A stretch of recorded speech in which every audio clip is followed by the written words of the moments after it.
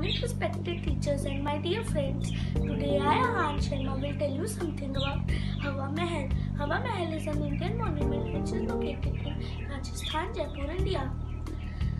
It was made in 1799 by Maharaja Savai Pratap Singh and was designed by Lal Chand uh, Ustad.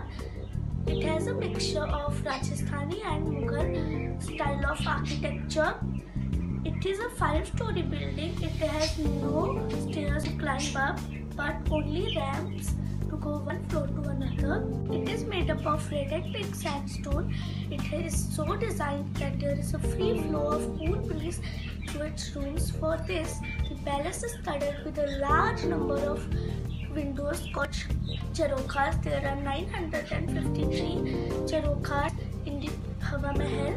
The royal family used to ship to this palace in the warm months of the Rajasthan desert.